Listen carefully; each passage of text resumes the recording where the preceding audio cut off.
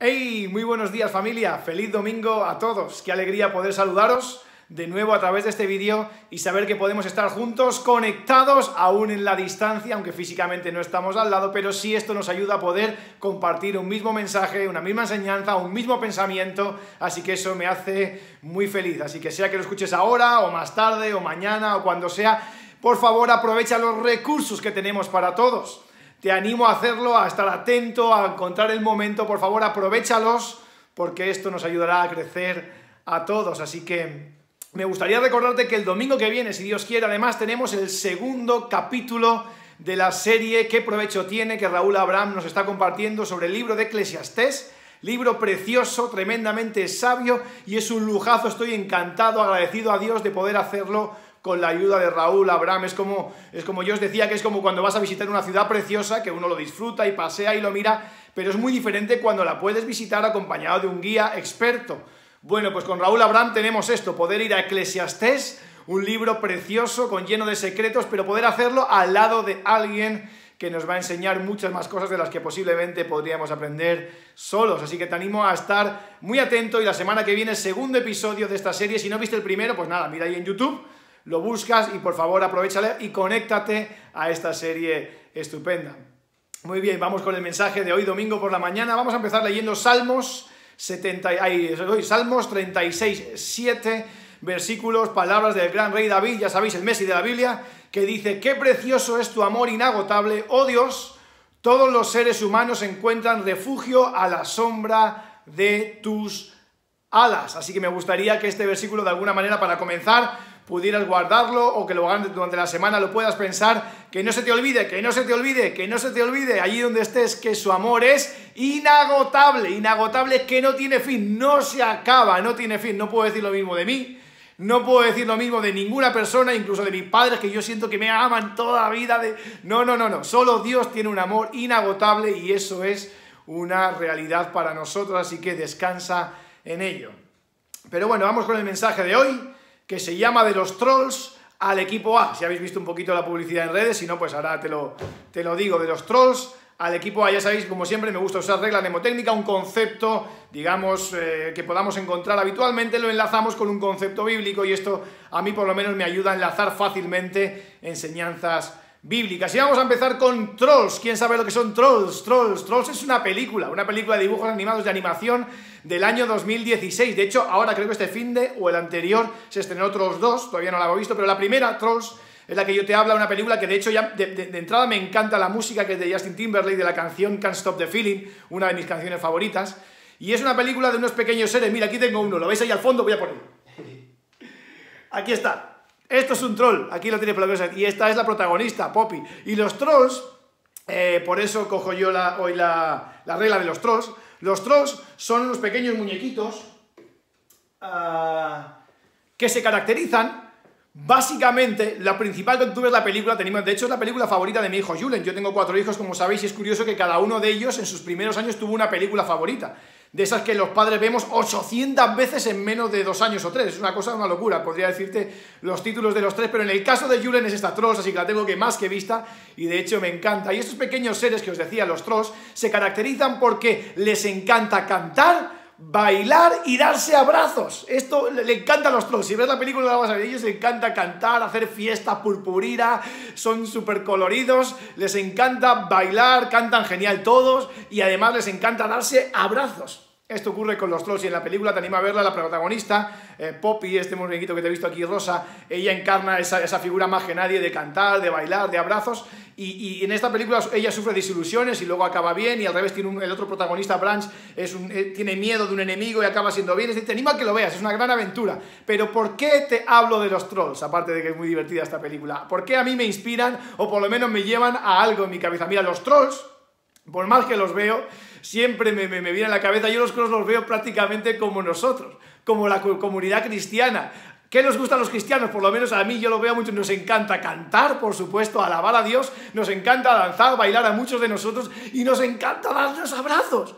Nos encantan los abrazos, nos encanta el poder tocarnos, el poder hablar, el poder eh, compartir. Es algo que nos encanta a los cristianos. Por eso somos como los trolls, ¿verdad que sí? De hecho, hay muchas personas cuando vienen a nuestra iglesia en Salem, Barcelona, que destacan una de las cosas más importantes o que más les gustó cuando llegan es precisamente sentir ese abrazo, esa amistad, ese cariño que hay en nuestra comunidad. No obstante, te puedo decir que posiblemente esto sea algo muy común en la mayoría de comunidades cristianas, no solo la nuestra. Creo que es algo muy de los cristianos, muy de los trolls que somos los cristianos. Nos encanta bailar, cantar y darnos abrazos. Ahí va, que me, que me cargo el iPad, perdón. Pero dicho esto, sin embargo, dicho esto, la actualidad que estamos viviendo, eh, la pandemia, de hecho, hoy la idea era que algunos pudieran estar viendo el mensaje en la iglesia, pero de nuevo tenemos que hacerlo a la distancia. La realidad es que esta pandemia, si algo es lo que ha hecho, entre otras muchas cosas que evidentemente nos, dificultan, es que precisamente no nos deja abrazarnos, algo que nos le encanta a los trolls, nos encanta a los cristianos, ni tampoco podemos cantar y bailar en comunidad como lo hacíamos antes, por lo menos con la misma gente, con las mismas eh, circunstancias. De hecho, como os decía, ya sabéis que estos dos últimos domingos hemos tenido reunión, presencial, eh, después de casi ocho meses, eh, actualmente no, de nuevo por las restricciones que todos sabéis de no podemos salir del municipio y demás, y te invito por favor a, cumplirlo. Sin embargo, yo pude estar hace dos domingos atrás, la anterior estuvo Dorcas, tenemos que turnarnos con los niños. Yo quiero serte muy sincero, a mí realmente la experiencia hace dos semanas me resultó... Mm, me sería difícil buscar la palabra adecuada, la verdad resultó un poquito como lo que esperaba, en cierta manera. Quizás podría usar la palabra desilusionante, aunque no te sepa ni te lleves las manos a la cabeza. Entiéndeme, te hablo principalmente de mí, cada uno lo vivirá a su manera, pero personalmente sí me resultó un poquito desilusionante, o por lo menos me llevó a, pensar, a, experimentar lo que pensaba de que, evidentemente, en las actuales circunstancias, los templos, nuestro templo, que nos encanta ir allí y disfrutar, ve menguada muchísimo sus cualidades, ve menguada muchísimo todo aquello que podemos hacer, porque claro, en realidad hay muy poquita gente, ya que tenemos que estar muy, muy, muy restringido el acceso, muchos no pueden venir también por precaución, porque están en cuarentena, por diferentes temas. Y eso hace que además los poquitos que somos apenas puedes, no puedes evidentemente tocarte ni abrazarte, no puedes hablar apenas que un dos, tres y de, con distancia y con temas muy...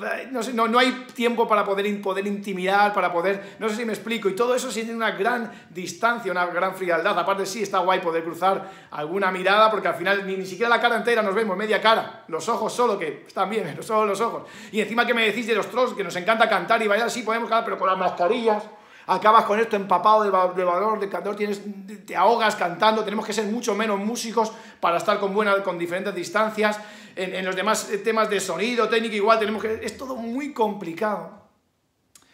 Y a mí me dio cierta desilusión, digamos, o, tristeza comprobar que efectivamente, como pensamos, el templo ahora mismo ah, pierde mucho de sus, de sus cosas bonitas, digámoslo así. Eso no quiere decir ni mucho menos que no, que no vayamos ni que no lo hagamos en la medida de lo que podamos, lo haremos en las, en las circunstancias que podemos. Yo entiendo que también hay muchas personas que sí, aun con todo que eso estamos comentando, sí lo disfrutan y pueden estar ahí, pues maravilloso, eso cada uno lo vive a su manera, pero yo quiero ser muy sincero contigo, porque al igual que a ti, igual que a, que a cualquier persona, yo tengo muchas veces momentos de desilusiones, desilusiones que no tienen que ver solo con, con, temas de iglesia, ministerio, sino también personales, cosas que uno imagina o piensa y acaban siendo desilusiones. Y a mí me gustaría en esta mañana simplemente hablarte un poco sobre eso, sobre el tema de las desilusiones y de cómo poder intentar encontrar ciertas eh, soluciones a, momentos como ese, porque todos vivimos desilusiones. Desilusionar en el diccionario dice hacer perder las ilusiones. Perder las ilusiones, dice el diccionario de, de desilusionar, ilusión que sería lo que perdemos en este caso, dice concepto, imagen o representación sin verdadera realidad, sugeridos por la imaginación o causados por engaño de los sentidos, esperanza cuyo cumplimiento parece especialmente atractivo, es decir, es algo que visualizamos, algo que no tenemos, pero miramos y queremos, deseamos, lo vemos evidentemente normalmente atractivo, pero la desilusión es cuando no llega esa ilusión, cuando desaparece esa cosa que tenemos en, en la cabeza. De hecho, en la película de Trolls, que hablamos hoy como regla mnemotécnica, este personaje tan colorido que veis ahí, de pelo rosa y es todo púrpura y eso, cuando se desilusionan, es curioso porque se vuelven oscuros y se quedan quietos con los ojos cerrados y se ponen de colores grises, colores, tonos, tonos muy serios, porque están desilusionados. Y yo quiero preguntarte, los cristianos, ¿qué hacemos cuando nos desilusionamos? ¿Qué ocurre cuando tú y yo, como, como cristiano, me desilusiono? Puede que deje de orar, puede que deje de leer, puede que deje de ofrendar, puede que deje de acudir a, la iglesia, puede que deje de intentar relacionarme con, con otros hermanos. Hay muchas cosas que creo que hacemos cuando nos desilusionamos, nos desconectamos, nos desanimamos. Y ahí me gustaría en esta mañana, si es tu caso es mi caso, o por lo menos si puede llegar a ser lo que estemos alerta, cómo poder encontrar algún ejemplo en la Biblia de cómo reaccionar a circunstancias que puedan desilusionarnos. Esa es un poquito la idea. En el libro de Job, capítulo 2, versículo 10, encontramos un versículo muy, muy interesante que dice, pero Job le respondió, en este caso su mujer, que le estaba diciendo, no, pues tienes que criticar a Dios porque mira lo que te ha hecho, dónde estamos metidos. Dice, no digas tonterías, le dice Job a su mujer. Si aceptamos todo lo bueno que Dios nos da, también debemos aceptar lo malo. Y a pesar de que todo lo que había sucedido, Job no pecó contra Dios diciendo algo malo. Tremendas palabras de Job diciendo, no pienso renegar de Dios, es más, él dice, si me quedo con lo bueno, también con lo malo. Vaya, es una afirmación realmente tremenda. Eh, Martin Luther King Jr. decía, debemos aceptar finitas desilusiones, pero nunca perder la esperanza infinita. Y él mismo decía, no puede haber una profunda desilusión donde no hay profundo amor. Así que es muy probable que cuando tú experimentas desilusión, sea en el tema que sea, si es por lo que estamos viviendo de la pandemia, el trabajo, tema de amores, o tema, el que quiera que sea, de relaciones, o expectativas, o proyectos, eh, o temas de lo que sea, es porque posiblemente hay mucho de tu corazón puesto en ello. Y en la Biblia encontramos bastantes personajes que vivieron... Eh, momentos de desilusión o dificultades. De hecho, la semana pasada nuestro pastor Pedro, si recordáis, hablaba de José, que también nos inspiró muchísimo pero yo sí tengo que quedarme con algún personaje en la Biblia, una historia que a mí desde pequeño me, parece maravillosa en ese sentido y me inspira mucho, lo encontramos en lo que yo llamo el equipo A de la Biblia. ¿Qué es el equipo A de la Biblia? Ahí te va, el equipo A. Ojo, ¿sabéis lo que es el equipo A? El equipo A es maravilloso. Mira, aquí tengo yo, te lo traigo también. Esto es el equipo A, fijáis, es una serie de televisión de los años 80, lo veíamos en los 90 cuando era pequeño, lo veis aquí, el equipo A, una de mis series favoritas, por eso la tengo aquí guardada.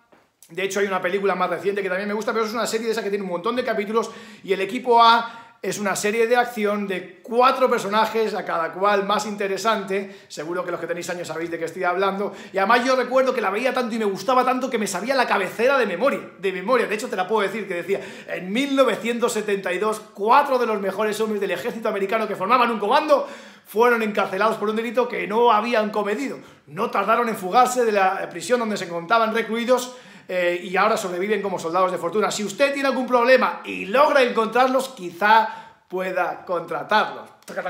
El equipo A. ¿Y por qué te hablo del equipo A? Y lo vamos a enlazar con lo que estamos hablando, controls y lo que estamos hablando de la desilusión. El equipo A, como te decía, eran cuatro soldados de los mejores del ejército, que su idea, evidentemente, era eh, poder defender a su país, sin embargo, se ven en un lío donde son acusados eh, por error y son mandados a la cárcel de tal manera que ya no pueden servir en el ejército como ellos siempre quisieron. Ellos escapan y a partir de ahí todos los capítulos lo que hacen es ayudar a la gente de manera desinteresada, se van encontrando con conflictos de personas y ellos utilizan lo que saben hacer para ayudarles. Me encanta cómo ellos, digamos, esa idea de poder ayudar, en este caso, a, su pueblo a través del ejército, encuentran otro camino para poder hacerlo, aunque no era el que habían pensado en un principio. ¿Y quién es el equipo A de la Biblia? ¿Quién lo sabe? ¿Quién es el equipo A? Tenemos cuatro, ¿eh? son cuatro. ¿Quiénes son esos cuatro que son el equipo A? Lo encontramos en el libro de Daniel, efectivamente. En Daniel, ese libro precioso, profético, de 12 capítulos, donde los seis primeros son históricos, que son los que me gustaría que te leyeras en tu casa eh, cuando puedas, no lo vamos a leer aquí, sino un poquito rápido, ojalá te lo puedas leer en casa en varias versiones y puedas encontrar grandes enseñanzas, y los últimos seis capítulos de Daniel son también profecías que podemos leer también, te invito a que las leas, pero realmente complicado de entender en muchos casos y hay cosas que de hecho no se pueden casi ni entender, pero son profecías muy interesantes sobre el futuro y lo que está por venir. Y el equipo A eh, de la Biblia, los tenemos aquí, Daniel, se llaman Daniel, Ananías, Misael y Azarías, esos eran sus nombres.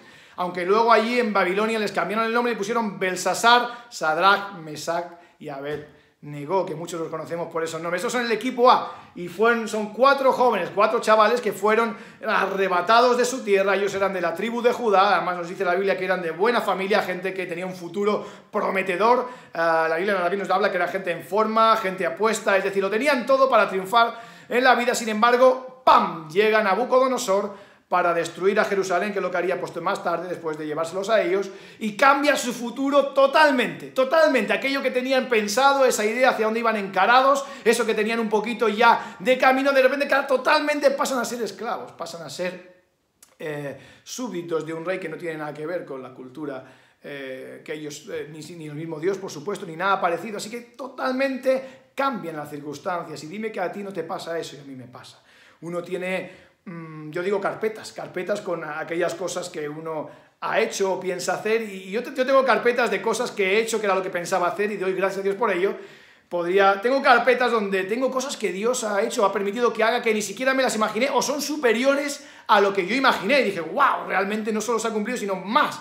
Y me ha sorprendido, pero también te puedo decir que tengo una carpeta, ahí escondidita, así, debajo de varias cosas, donde tengo ilusiones, cosas que Mm, no, no, no, no, no, de ninguna manera se han cumplido. De hecho, algunas de ellas están bien lejanas.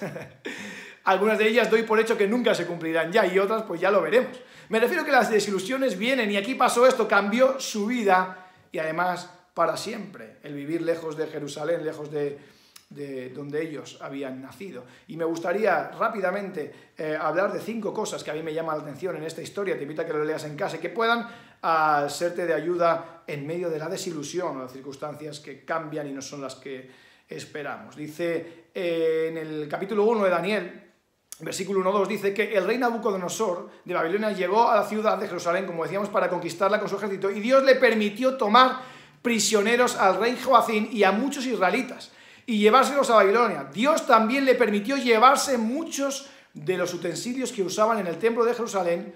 Nabucodonosor se los llevó y los juntó con los tesoros que había en el templo de sus dioses. Cuando esto sucedió, Joacín llevaba tres años de reinar en Judá. Lo que hemos dicho. Y te leo esto porque la primera cosa que me llama la atención en esta historia y me parece que debemos tener en cuenta es que debemos asumir que Dios permite nuestras desilusiones. Es muy cierto que muchas veces nos metemos solos en los líos. Es muy cierto que como el pueblo de, Dios que había negado tanto a Dios y le había desobedecido, Él les va a mandar un castigo y esto que estamos viendo es precisamente eso. La realidad es que me gusta como estás fijando el detalle que dice que Dios le permitió tomar a Nabucodonosor. Y luego dice Dios también le permitió llevarse, es decir, con todo y eso, que evidentemente Nabucodonosor pues, era más potente y era más fuerte y tenía el poder, Dios le permitió, Él siempre tiene la última palabra en aquellas cosas que nos ocurren. Y esto no es para que le echemos la culpa a Dios y digamos, no, es que es culpa. No, no, no, no, no. Estamos hablando de que hay una autoridad absolutamente superior, Dios, que no se le escapa nada. Él no se olvida, ni está ciego, ni dormido.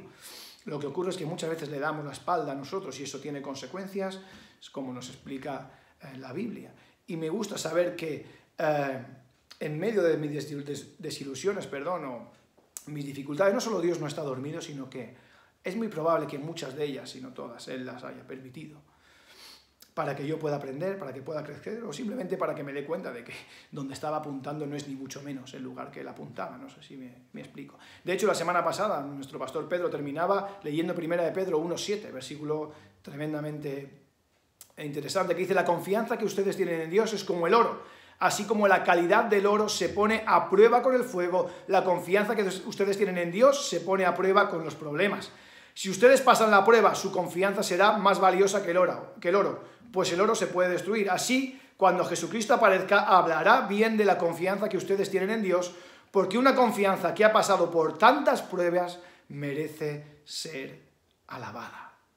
Precioso versículo que nos leía nuestro pastor el domingo pasado y que creo que no, no, se puede añadir nada más. Está clarísimo lo que está diciendo aquí Pedro. Así que te animo a pensar eso, en medio de las desilusiones, o si han cambiado los planes, o no va la cosa encarada como tú pensabas. ¡Ojo, ojo! Porque puede que Dios te esté llevando por un camino diferente. Y es más, esto puede ser que sea una prueba para ver qué tal es tu confianza, si es de oro o de qué está hecha. De hecho, recuerdo de pequeño que una de mis ilusiones era ser tenista. Sabéis que Rafa Nadal gana mucho, claro, yo no estoy, pues normal que gane. no, es broma, es broma. Pero yo de pequeño, pues sí, gracias a Dios, jugábamos a tenis con... Eh, eh, y recuerdo que se me daba bien, de hecho que mi profesor que era campeón de Madrid nos, nos, seleccionó, me seleccionó para poder jugar en, categorías superiores a mí. Y ya lo he contado alguna vez que, que con motivo de venirnos a, vivir a Barcelona por el, llamado de mis padres de pastorear en Barcelona, pues eso se truncó, mi carrera se truncó. y entonces pues Rafa Nadal y Federer pues han tenido el camino libre. no, no es eso, pero evidentemente sí había algo ahí que me ilusionaba muchísimo y no te voy a negar que cuando vinimos aquí pues fue una desilusión en ese sentido. Sin embargo, también tenía la confianza de que si Dios había puesto eso en el corazón de mis padres, pues Él es quien manda. Pero la desilusión estaba, no te voy a engañar. Sin embargo, con el tiempo te das cuenta que, los planes de Dios son buenísimos y he podido y estoy disfrutando de muchas cosas preciosas en mi vida. para empezar, poder conocer a mi mujer que estaba en Barcelona. Si me hubiera quedado en Madrid, no la hubiera conocido, hubiera conocido a otras. Y como eso, tantas cosas, los hijos, amigos, iglesia, experiencias. Y que, quién sabe, era de una, de una desilusión la cosa Dios uh, la pone en otro sitio. Número dos, que me llama la atención de esta historia mucho. Número uno, eh, Dios permite, sin duda, las desilusiones en nuestras vidas, las pruebas. Número dos, que me, parece interesante, que lo puedes leer en el 1, capítulo, 2, versículo, capítulo 1, versículo 12. Nosotros somos sus humildes servidores, dice Daniel y sus amigos. Eh, yo le ruego a usted que haga con nosotros una prueba de 10 días. Durante ese tiempo, denos usted de comer solamente verduras y de beber solamente agua. Ellos, como os decía, estaban siendo entrenados allí en Babilonia y tenían para comer como todo el mundo, sin embargo, Daniel y sus amigos hacen algo. El equipo A hace algo ahí que es dice, yo nosotros no queremos compartir esa comida, no porque les tengamos asco, no porque ni siquiera se pueda, porque estamos eh, pues eso, a merced de otros, sino porque ellos consideraban quizás que no era necesario para su crecimiento ni querían involucrarse, que no estaban a lo mejor cerca de lo que ellos habían aprendido. El caso es que ellos deciden rechazar esa comida que les ofrecían y alimentarse solo a base de verduras. Después de una negociación lo consiguen y ponen esa prueba que efectivamente demuestra que sí, que funciona y que pueden estar totalmente sanos y que pueden crecer. Y me gusta esto de apartar alimentos, no tanto para que te quedes con el detalle de si es que era verdura, a ver, si es que solo la verdura buena, la carne, eso son tonterías, ni mucho menos, no te, no te enredes con esas cosas. Así no, no, no, la cosa no es esa.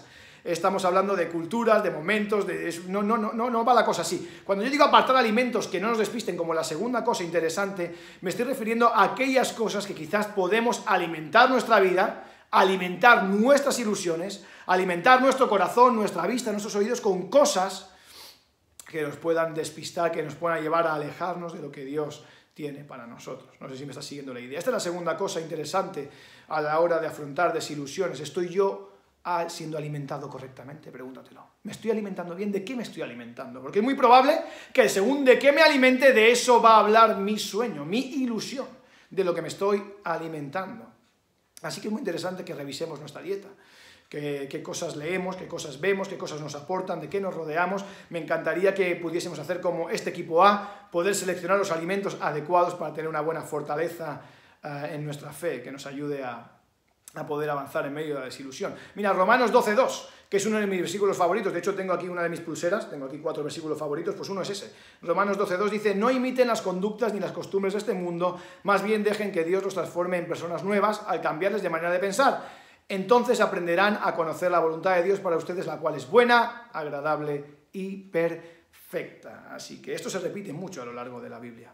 Como eh, hablando de, de alimentarse de otras cosas, lo vemos en Gedeón, ¿os acordáis? Gedeón, que también hablamos de él en su día, Hablamos hace poco, de hecho, de, Leónidas, de Gedeón, como Dios antes de hacer nada le dice, oye, mira, tienes que tirar todos esos baales, tienes que limpiar todo eso y a partir de ahí vamos a construir. Y lo puedes ver en muchos personajes, recuerdo también el rey Josías, también que sus padres habían portado fatal y habían hecho terribles cosas en el, en el pueblo.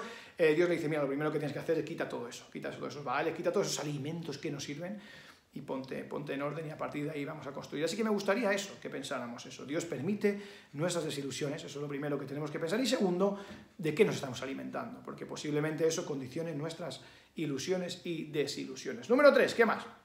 Debemos dedicar tiempo a formarnos. Me gusta ver que en esta historia, vemos también poder leerlo en Daniel 1.17, nos dice que ella, estos cuatro eh, jóvenes recibieron de parte de Dios mucha inteligencia, sabiduría para entender toda clase de libros y de ciencias. Además, Daniel podía entender el significado de los sueños y de las visiones. Eran chicos que se estaban formando en, eso, en cultura, en lenguas, en ciencia. Y yo quiero animarte, sin duda, que otra manera de poder afrontar las desilusiones o momentos complicados o cuando la cosa cambia es precisamente eso, tener una buena formación. De hecho, me da mucho gusto ver que en nuestra iglesia hay muchas personas que están inquietas por hacer una escuela bíblica, por intentar continuar aprendiendo. De hecho, estamos, ya sabéis que estamos en marcha con varias cosas. Me encanta eso, porque es una manera eh, importante de poder recibir un buen alimento que nos ayude a tener una fe que nos ayude a centrarnos en Dios y no tanto en nosotros y ser ilusiones que muchas veces no vienen de parte de Dios. Así que qué importante es poder leer, utilizar la Biblia, poder empaparse de cosas que nos formen, que nos den inteligencia, que nos den herramientas de verdad, no simplemente esperando a que ocurra algo. No, no, no, sino que haya herramientas prácticas que nos sirvan para poder actuar. Dice Josué 1.8, nunca dejes de leer el libro de la ley, palabras de Dios a Josué. Estudialo día y de noche y ponlo en práctica para que tengas éxito en todo lo que hagas. De hecho, es que creo que esta es una de las cosas que los cristianos muchas veces más nos equivocamos. Estamos desilusionados, estamos con problemas que lo que hacemos no leemos, nos apartamos y eso nos lleva todavía a más dificultades, como dice nuestro pastor Pedro. No, no, no, no. Todo lo contrario, aférrate a la Biblia, a la palabra de Dios, eso sí me gustaría darte algunos consejos en ese sentido, porque hay veces que, uno dice lee, pero, pero va un poco perdido y a veces que casi es peor, ¿no?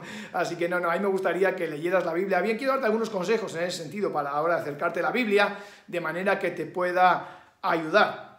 Eh, porque sin duda Dios desea bendecirte. De hecho, muchas veces yo oigo, es que Dios pues, quiere bendecirte o Dios quiere traer un avivamiento. Yo nunca he entendido esa expresión muy bien de quiere traer un avivamiento, va a venir un avivamiento, que es algo que he escuchado mucho, porque claro, dices, si, si me la tomo en serio esa frase, quiere decir que hasta ahora no había querido Dios.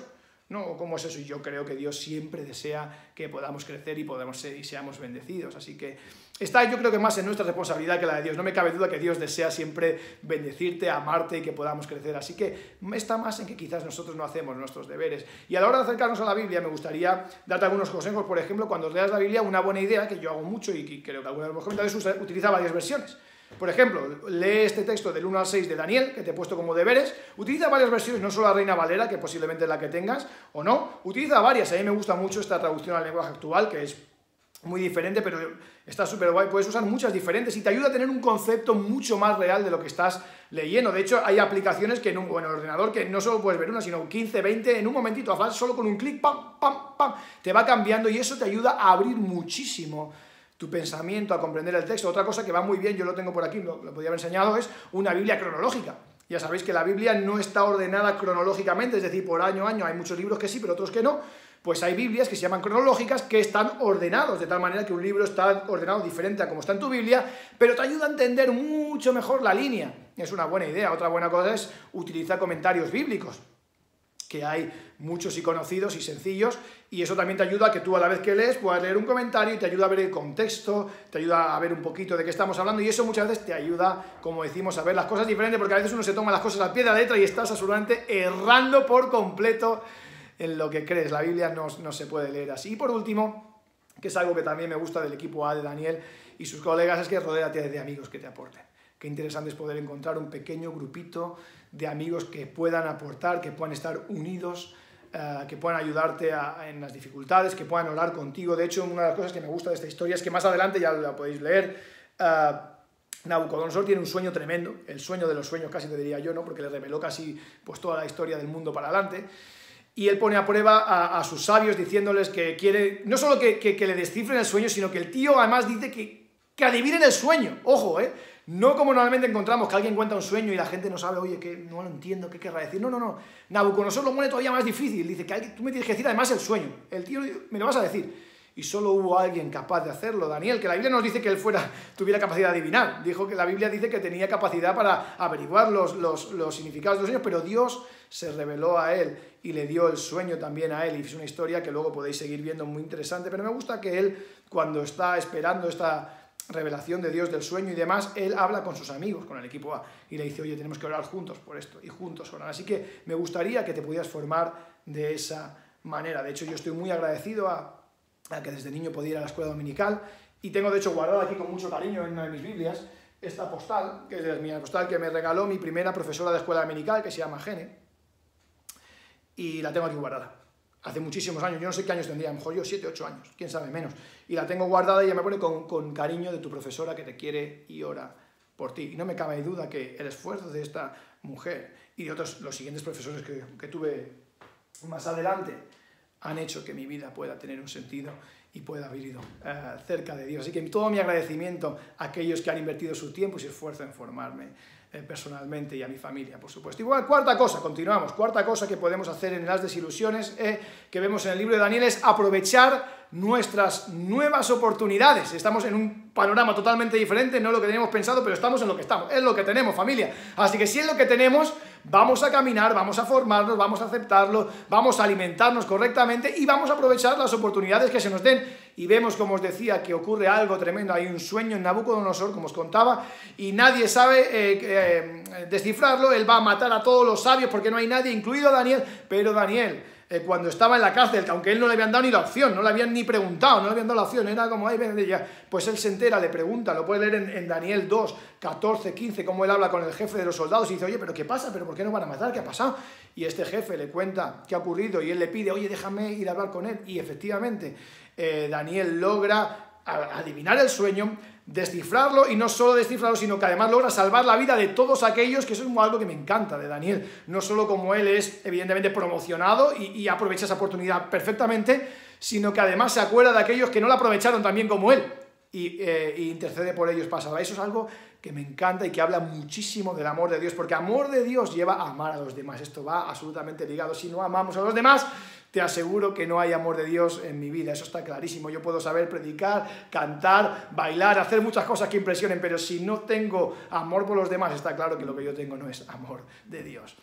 En Salmos 27, 11 dice, Señor, enséñame cómo debo vivir, guíame por la senda de la rectitud, pues estoy rodeado de enemigos que me acechan palabras de David de nuevo, el Messi de la Biblia, en dificultades, y él dice, guíame, yo oro para que tú y yo podamos orar igual, guíame Jesús, ¿vale? Estoy en una situación que no es la que esperaba, esto no es la ilusión de mi vida, estoy un poco perdido, no encuentro, Señor, guíame Jesús, guíame, rodéame, enséñame, muéstrame la senda en medio de mis dificultades, de mis desilusiones, porque tú no te has dormido, sabes dónde estoy, guíame, enséñame el camino, dame luz hacia dónde voy.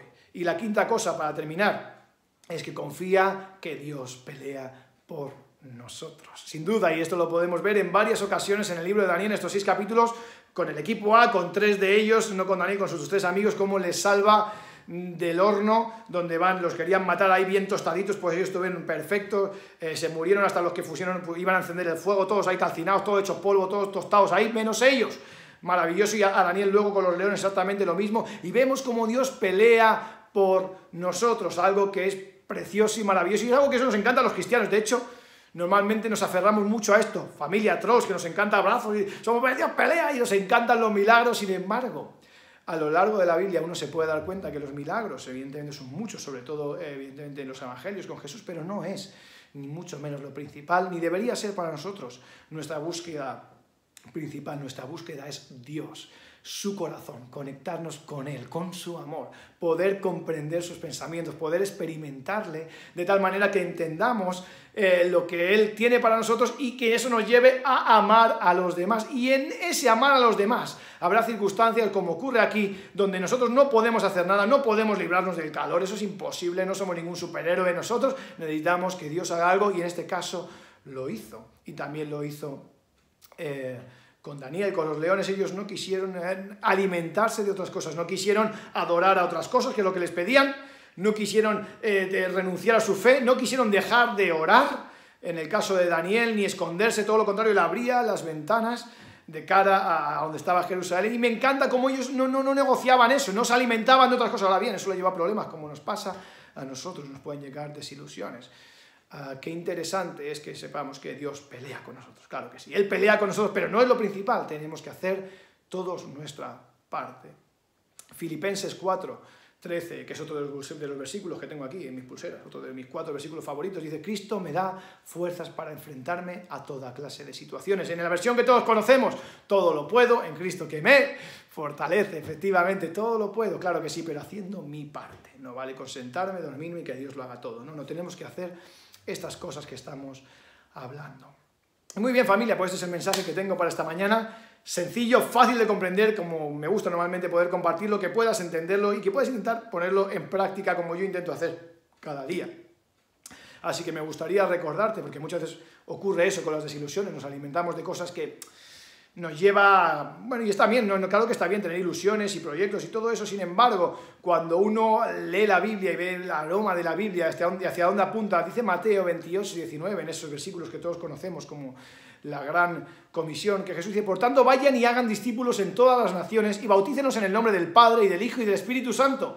Enséñenles a cumplir todas las cosas que les he mandado y yo estaré con ustedes todos los días hasta el fin del mundo. Me encantan en esas palabras de Jesús cuando ha terminado y va a partir y nos va a dejar a nosotros la responsabilidad de lo que tenemos por delante.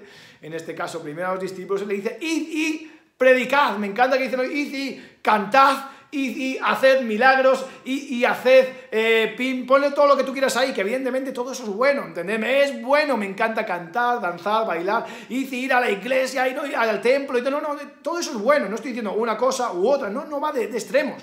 Estamos diciendo que lo más importante es hacer discípulos. Y para hacer discípulos no es imprescindible tener que acudir a un templo, ni es imprescindible cantar. Lo que sí es imprescindible para hacer discípulos es tener una comunión con Dios real, que nos ayude a querer amar a los que están alrededor y ahí buscar discípulos. Y esto es interesante porque a veces en nuestros deseos personales se nos olvida que ese es lo que Dios nos encomendó a cada uno. Nosotros principalmente, ya te digo, no, no digas, venga, lo dejo, no, no, no, entiéndeme, lo demás también importa tus proyectos personales, tu trabajo, todo eso hay que desarrollarlo, pero te animo a que lo, lo, coloques bien, lo coloques bien y eso posiblemente ayudará a poder afrontar con mucha más garantía las ilusiones que tienes en tu vida. De hecho, Mateo 22, 37, palabras de Jesús, 38 dice algo que me parece maravilloso, dice el mandamiento, el primer mandamiento y el más importante es el que dice así, ama a tu Dios con todo lo que piensas y con todo lo que eres, en la versión tradicional, con toda tu fuerza, con todo tu pensamiento, con toda tu mente. Y, dice, y el segundo, ojo, el mandamiento, en importancia es parecido a ese. Dice así, cada uno debe amar a su prójimo como se ama a sí mismo, al prójimo como a sí mismo. Y añade el 40, ojo esto, dice, toda la enseñanza de la Biblia, palabras de Jesús, ojo, no es Abraham ni nada, Jesús, toda la enseñanza de la Biblia, de la ley, se basa en estos dos mandamientos. Todo se basa en esto. No, no, no, milagros, no cosas, no, no, no, no, no, todo se basa en eso, en un amor verdadero por Dios, una devoción por Él que nos ayude a buscarle con, con ilusión, que podamos inspirar a otros y que eso nos lleve eso, a atender a los demás. En este caso no puede ser tanto nuestro templo, que evidentemente la medida de lo que podamos vamos a estar y vamos a hacer lo que haya que hacer. Pero por favor no te centres, sino encontremos, como decía Tony hace dos semanas atrás, nuevas oportunidades, nuevas oportunidades de poder desarrollar esta comisión que Dios nos ha dado como, como iglesia, que no es solo ir a un templo, que evidentemente lo deseamos y ojalá pronto podamos disfrutarlo, sino que nos pueda desafiar a llevar esta comisión de una manera totalmente nueva, como, hicieron el equipo, como hizo el equipo A, el poder encontrar prosperidad y el poder encontrar eh, sentido a su vida en, en circunstancias que no eran la esperada. Muy bien, que Dios bendiga muchísimo, os queremos un montón, espero podamos, podamos vernos pronto, Dios bendiga mucho, que tengáis una gran semana. Adiós familia, adiós.